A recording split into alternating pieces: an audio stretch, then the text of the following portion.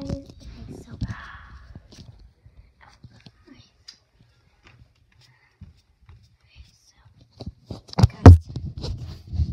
Surprised I have glasses on, but I can. I have to hurry up. It's time to eat dinner, so I just super super bored. They're gonna be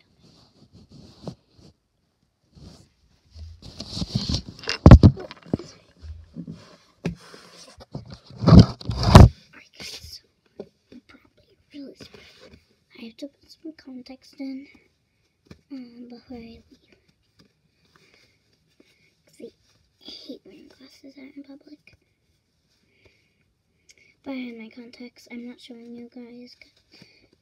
It just, it's just gonna, you know, I, I trust you, but also, it's just like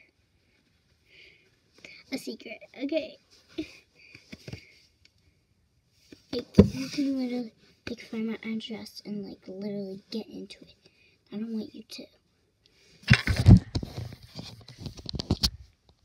Alright guys. Quick video.